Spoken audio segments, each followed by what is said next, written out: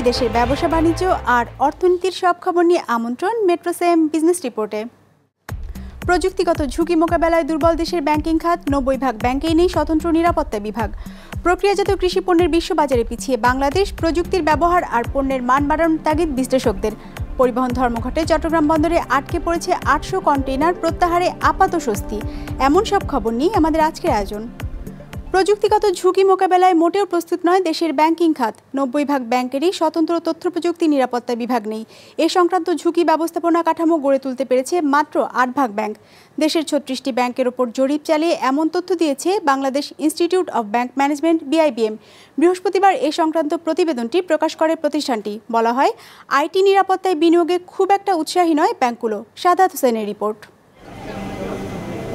চাইলে ব্যাংকে না গিয়ে টাকা তোলা কিংবা জমা দেওয়া যায় নিকটস্থ এটিএম বুথ থেকে। কেনাকাটা করতেও লাগে না কাগজে মুদ্রা, ডেবিট বা ক্রেডিট কার্ড থাকলেই চলে। তা না হলে হাতের মুঠোফোনই যথেষ্ট টাকা লেনদেন, কেনাকাটা কিংবা বিল পরিশোধে। ব্যাংকিংয়ে এমন সুবিধা যেমন এসেছে, তেমনি বেড়েছে ঝুঁকিও। Complexity of systems are increasing day by day this leads to more and more vulnerabilities in systems attackers use this vulnerabilities to exploit the victims systems. It is better to find out these vulnerabilities in advance before attacker do. The power of vulnerability assessment is usually underestimated. While vulnerability assessment and penetration testing can be used as a cyber defense technology to provide proactive cyber defense. কোনো ব্যাংকের system কতটা ঝুঁকিতে আছে তা আগাম মূল্যায়ন এবং কতটা ঝুঁকি প্রবেশ করেছে তার নির্ণয় করাকে সংক্ষেপে বলা হয় ভিএপিটি গবেষণা বলছে, দেশের একুশ ভাগ ব্যাংকের কোনো ভিএপিটি নীতিমালা নেই। আবার উনআশি ভাগ ব্যাংক সেই নীতিমালা তৈরি করেছে তথ্য প্রযুক্তি নীতিমালার আওতায়। শুধু তাই নয়, মাত্র দশ ভাগ ব্যাংকের স্বতন্ত্র তথ্য প্রযুক্তি নিরাপত্তা বিভাগ রয়েছে। Only fifteen percent bank are maintaining detail guidelines and procedure for performing both internal and external VAPT but in most of the cases detail procedure are not documented and approved For effectiveness of VAPT it should be approved by the right authority তো so এখানে আমাদের একটা বিরাট একটা gap আছে। আগে আমাদের যে cyber হ্যাস্ট হয়েছিল সেটার পিছনেও এই ভালনারেবিলিটি অ্যাসেসমেন্ট এবং পেনিট্রেশন টেস্টিংয়ের কিছুটা অভাব ছিল বলেই এই জিনিসটা হয়েছে। ভবিষ্যতে যেন আমাদেরকে আর কখনো এরকম সিচুয়েশনে পড়তে না হয়। প্রযুক্তিগত ঝুঁকি মোকাবেলায় দক্ষ জনশক্তি নিয়োগ ও প্রশিক্ষণেও দুর্বলতা আছে ব্যাংকিং খাতে। শুধু তাই নয়, গবেষণা বলছে ঝুঁকি প্রতিরোধে পঞ্চাশ ভাগ ব্যাংকই অনিবন্ধিত সফটওয়্যার কিংবা অ্যান্টিভাইরাস ব্যবহার করছে। কেননা এই খাতে খুব একটা বিনিয়োগে উৎসাহ নেই ব্যাংকগুলোর খরচ যেটা হবে আইটির ক্ষেত্রে this is an investment it's not an expenditure এই মানসিকতা যদি ধরা যায় তাহলেই কিন্তু আসলে আপনি অনেক বেশি এক্সপেনশন করতে পারবেন অনেক বেশি আপডেটেড করতে পারবেন আপনার লোকবলকে। আপনার লোকবলকে যদি কন্টিনিউয়াসলি আপনি যদি আপডেটেড না করেন ট্রেনিং না দেন তাহলে কিন্তু আপনি দেখবেন যে চেঞ্জ হয়ে যাচ্ছে। গভর্নমেন্ট পার্ট থেকে আমরা চেষ্টা করছি দেশে অডিট সিস্টেমটাকে আইটি অডিটটাকে এনফোর্স করার জন্য প্রত্যেকটা প্রতিষ্ঠানের জন্য যাদের ফিনান্সিয়াল অডিট হবে তাতে আইটি অডিট হবে যদি আইটি সিস্টেম কাজ করে। তো এই ক্ষেত্রে আপনারা যদি ইন্ডাস্ট্রি থেকে যদি এরকম স্কিল সেট তৈরি করার ব্যাপারে হেল্প করতে পারেন, তাহলে আপনা আপনি ব্যাংকগুলো কিন্তু এইসব স্কিল হায়ার করবে, ব্যাংকের সাস্টেনেবিলিটির জন্য। শক্তিশালী সাইবার প্রতিরোধ ব্যবস্থা গড়ে তুলতে ব্যাংকের কর্মীদের বাস্তবসম্মত প্রশিক্ষণ ও সচেতনতা বাড়ানোর তাগিদ দেওয়া হয়েছে আলোচনায়। Sadat Hossain business report Maasranga television প্রতিযোগী দেশগুলোর তুলনায় প্রক্রিয়াজাত কৃষি পণ্য রপ্তানিতে এখনও অনেক পিছিয়ে বাংলাদেশ। রপ্তানি বাড়াতে এ খাতে বিনিয়োগ বাড়ানোর পাশাপাশি সৃষ্টি করতে হবে নতুন বাজার। বিশ্লেষকদের মতে, এজন্য বাড়াতে হবে প্রযুক্তির ব্যবহার, নিশ্চিত করতে হবে পণ্যের গুণগত মান। বৃহস্পতিবার রাজধানীর বসুন্ধরা কনভেনশন সিটিতে শুরু হওয়া কৃষি পণ্যের আন্তর্জাতিক প্রদর্শনীর উদ্বোধনী অনুষ্ঠানে এসব কথা উঠে আসে। ইমতিয়াজ হাসানের রিপোর্ট। বিস্কিট, চিপস, জুস থেকে শুরু করে বিভিন্ন প্রকার গুঁড়া মশলা, যা পরিচিত প্রক্রিয়াজাত কৃষিপণ্য হিসেবে। বাংলাদেশ এগ্রো প্রসেসর্স অ্যাসোসিয়েশন বাপার তালিকাভুক্ত তিনশো প্রতিষ্ঠান বিশ্বের একশো চুয়াল্লিশটি দেশে এসব পণ্য রপ্তানি করছে বর্তমানে। হিসেব বলছে, গেল অর্থ বছর সাঁত্রিশ কোটি দুই লাখ ডলারের প্রক্রিয়াজাত কৃষিপণ্য রপ্তানি করেছে বাংলাদেশ। দু হাজার একুশ সাল নাগাদ যা শত কোটি ডলারে নিতে চায় বাপা। আগামী বছর আপনার পরিকল্পনা রয়েছে এক বিলিয়ন থেকে দুই বিলিয়ন ডলার ইন্টারেস্ট রেটটা যদি কমানো হয়, তাহলে বোধহয় আমাদের পক্ষে এই এক্সপোর্টগুলি করা সম্ভব হবে। কারণ এক্সপোর্টে আমরা কিন্তু খুব কম্পিটিটিভ হই। আমাদের এইখানে অনেক লোক আছেন যারা নাকি কম্পিটিটিভ হয়ে এইখানে আসছেন এবং করার চেষ্টা করছে। হিসেব বলছে রপ্তানি আর অভ্যন্তরীণ বাজার মিলিয়ে বছরে প্রায় সাত কোটি টন প্রক্রিয়াজাত খাদ্য উৎপাদন হয় দেশে। টাকার অঙ্কে যার পরিমাণ বিশ থেকে ত্রিশ হাজার কোটি। কৃষিপণ্যের ন্যায্য মূল্য নিশ্চিতে প্রক্রিয়াজাত খাদ্য শিল্পে বিনিয়োগ আরও বাড়ানো দরকার বলে মনে করেন বিশ্লেষকরা। জোর দেন খাদ্য প্রক্রিয়াজাতের সক্ষমতা বৃদ্ধির পাশাপাশি প্রযুক্তির ব্যবহার বাড়ানোরও। Agriculture commodity prices are nowadays very volatile. Use of technology can reduce the cost of production and we can make it competitive and, and it could be a sustainable option. There's huge opportunity for agro-processing and food industry, opportunities to grow export markets, but also opportunities in domestic markets to make this possible. One of those is capacity development, and this is in terms of infrastructure, but also human resources and human capacity, but also the ability to meet the international standards on food safety and. বৃহস্পতিবার রাজধানীতে শুরু হয়েছে প্রক্রিয়াজাত কৃষিপণ্যের আন্তর্জাতিক প্রদর্শনী বাপা food pro যার উদ্বোধনী অনুষ্ঠানে শতভাগ নিরাপদ খাদ্য উৎপাদনের তাগিদ দেয় নিরাপদ খাদ্য কর্তৃপক্ষ।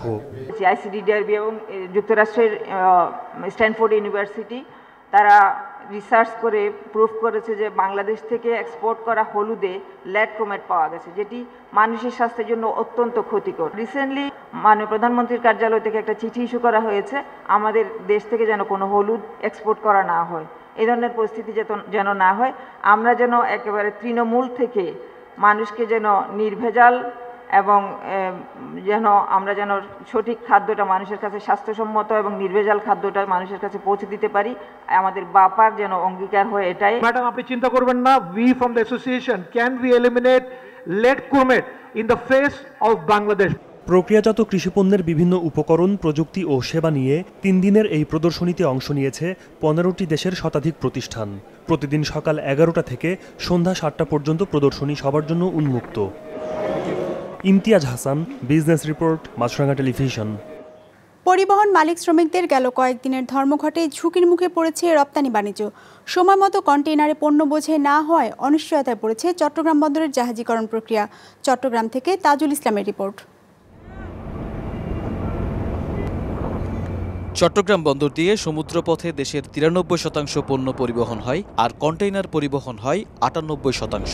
তাই সড়কপথে বন্দরে পণ্য কিংবা কন্টেইনার আনা নেয়ায় ব্যাঘাত ঘটলে এর বড় প্রভাব পড়ে দেশের আমদানি রপ্তানি বাণিজ্যে।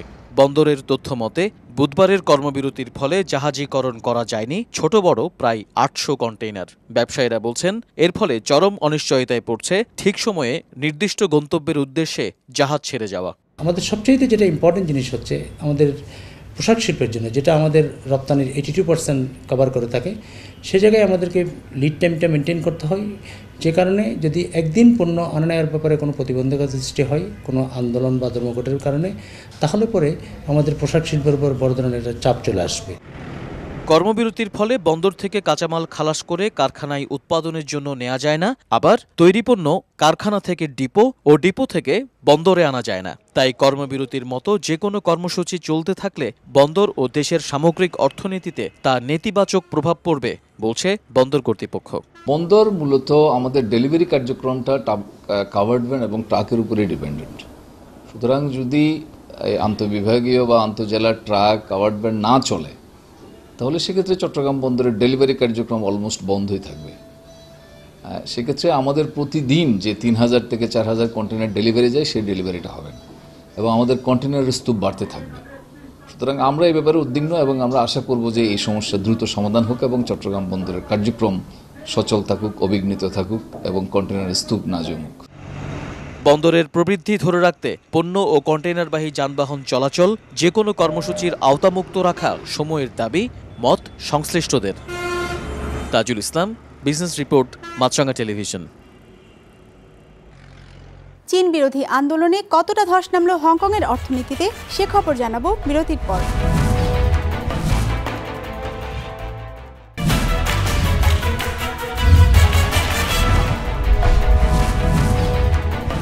আবারও আমন্ত্রণ মেট্রো সেম বিজনেস রিপোর্টে। ধর্মঘট প্রত্যাহারের ঘোষণা দিলেও দেশের বিভিন্ন জেলার বৃহস্পতিবারও বন্ধ ছিল ট্রাক চলাচল।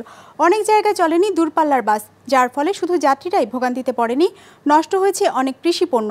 তবে স্থলবন্দরগুলোতে পণ্য পরিবহন স্বাভাবিক হয়ে এসেছে। ডেস্ক রিপোর্টে বিস্তারিত।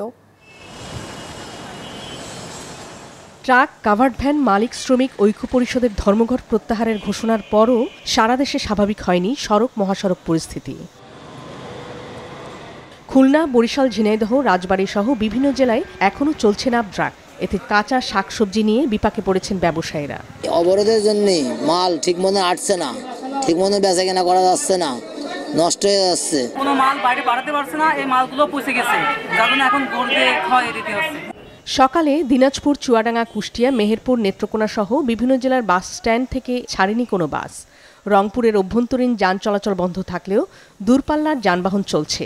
রাজশাহী ও যশোরে চলছে সীমিত সংখ্যক পরিবহন। কোনো বাসে নাই কাউন্টারে আর কাউন্টারে যারা আছেন ওনারা যেটা বলতেছে যে আমাদের এখনও কোনো সিদ্ধান্ত আসে নাই। গতকাল থেকে ঢাকা যাব বলে বসে আছি। আর ট্রেনে যাব ট্রেনে সিট পাই নাই। কেন্দ্রীয় নির্দেশনা না পাওয়ায় পণ্যবাহী যান এবং বাস চলাচল বন্ধ রাখা হয়েছে বলেন সংশ্লিষ্টরা। সাংগঠনিকভাবে কোনো গাড়ি বন্ধ রাখেনি। শ্রমিকরা নিজের থেকেই তারা তাদের মতো করে গাড়ি চালানো বন্ধ রাখে। পাঁচ লক্ষ টাকা দিতেও পারব না, আর আমরা গাড়ি চালাইতেও পারব না। ঠিক আছে, আর আমরা ফাঁসি ধরি, গলায় নিয়ে গাড়ি চালাবো না। এদিকে ধর্মঘট প্রত্যাহারের ঘোষণায় আমদানি রপ্তানি কার্যক্রমে গতি এসেছে। দিনাজপুরের হিলি ও পঞ্চগড়ের বাংলাবান্ধা স্থলবন্দরে। ধর্ম প্রত্যাহার কারণে হিলি স্থল বন্দরের আমদানি রপ্তানি সহ সকল কার্যক্রম স্বাভাবিক রয়েছে এবং গাড়ি ঘোড়া প্রবেশ করতেছে। গাড়ি ঘোড়া লোড আনলোড চলতেছে।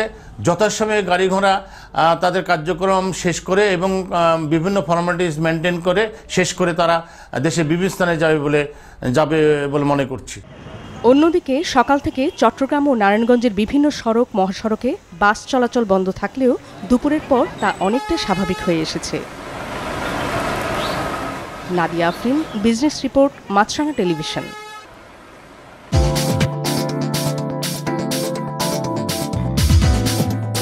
ইতিবাচক ধারায় সপ্তাহের শেষ কার্যদিবসের লেনদেন শেষ হয়েছে ঢাকা শেয়ার বাজারে। সার্বিক সূচক ডিএসসিএক্স চোদ্দ পয়েন্ট বেড়ে দাঁড়িয়েছে চার হাজার সাতশো ছয়ে। বেচা কেনা হয়েছে চারশো একুশ কোটি টাকার। লেনদেনে অংশ নেওয়ার প্রতিষ্ঠানগুলোর মধ্যে দাম বেড়েছে একশো চুয়াল্লিশটির, কমেছে একশো তেইশটির আর অপরিবর্তিত আছে আটান্নটির দর। এবারে বাজার নিয়ে বিশ্লেষণ শুনব অ্যালায়েন্স ক্যাপিটাল অ্যাসেট ম্যানেজমেন্টের। সপ্তাহের শেষ কার্য কার্যদিবসে market ended on a positive note আজকে ডিএসইএক্স গেইন করেছে ফোরটিন পয়েন্ট সেভেন পয়েন্টস এবং ডিএস থার্টি গেইন করেছে ফাইভ পয়েন্ট থ্রি পয়েন্টস আজকে সারাদিনে টাকার লেনদেন ছিল চারশো একুশ কোটি টাকা, যা গত দিনের চেয়ে বেড়েছে থ্রি পয়েন্ট সিক্স পার্সেন্ট আজকে মার্কেট টার্ন ওভারে লিড করে insurance sector twenty six point five two percent contribute করে, followed by pharmaceuticals and chemicals and engineering sector, which contributed 4.84% and 11.31% respectively. গত সেশনে ইনভেস্টার্সদের প্রফিট বুকিং প্রবণতার কারণে অধিকাংশ স্টকসের প্রাইস কারেকশন হয়, যা আজকে ইনভেস্টরদের পজিশন নেওয়ার একটি অপরচুনিটি ক্রিয়েট করে। টানা বিক্ষোভে অর্থনৈতিক মন্দায় পড়তে যাচ্ছে হংকং। তৃতীয় প্রান্তিকে দেশটির অর্থনীতির আকার কমেছে তিন ভাগের বেশি। কমেছে পর্যটকের সংখ্যা, মুখ ফিরিয়ে নিচ্ছেন বিদেশি বিনিয়োগকারীরাও। ডেস্ক রিপোর্টে বিস্তারিত। জুন মাস থেকে আন্দোলন চলছে হংকংয়ে। চীনের মূল ভূখণ্ডে বন্দি প্রত্যার্পণ নিয়ে প্রস্তাবিত বিল বাতিলের দাবিতে। বিক্ষোভের মুখে প্রস্তাবিত বিলটি বাতিল করা হলেও থামেনি আন্দোলন। এর সাথে যোগ হয়েছে নতুন ইস্যু। স্বাধীনভাবে নেতা নির্বাচনের অধিকার এবং বিক্ষোভের সময় পুলিশের নির্যাতনের স্বাধীন তদন্তের দাবিতে আন্দোলন চালিয়ে যাচ্ছে দেশটির বিক্ষোভকারীরা। প্রায় ছয় মাসের আন্দোলনে বিরূপ প্রভাব পড়েছে দেশটির অর্থনীতিতে। বছরের তৃতীয় প্রান্তিক, অর্থাৎ জুলাই থেকে সেপ্টেম্বর পর্যন্ত তিন মাসে, হংকংয়ের অর্থনীতির আকার কমেছে তিন দশমিক দুই ভাগ, যা দশ বছরের মধ্যে সর্বনিম্ন। This was the first year-on-year decline in more than 10 years. তৃতীয় প্রান্তিকে আগের বছরের চেয়ে অর্থনীতির আকার কমে যাওয়ার এই ঘটনা গেল দশ বছরের মধ্যে প্রথম ঘটল।